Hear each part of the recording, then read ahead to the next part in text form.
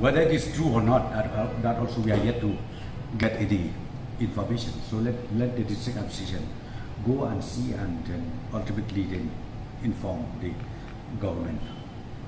Because we, we, we, are, we are also not, we don't know what happened. I don't know whether that is true or not and then what are the activities done.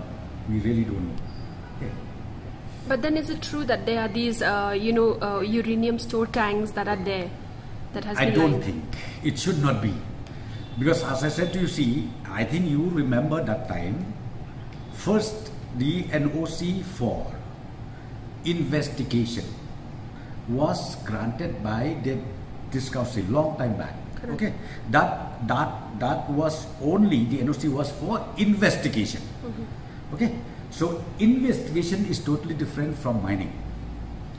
Okay, so that was the only NOC given that type by the this council, and after that, nothing, no, nothing else done.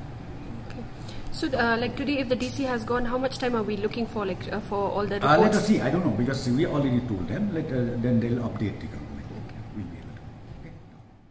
Don't forget to like, share, and subscribe to East Mojo. For any queries, put them down in the comments section below and press on the bell icon for notifications.